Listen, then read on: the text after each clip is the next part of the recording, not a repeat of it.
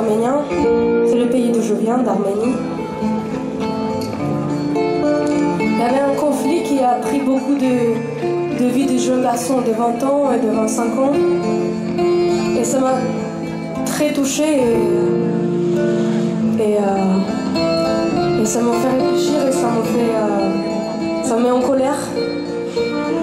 Et pour cette raison, on a créé cette morceau avec lui.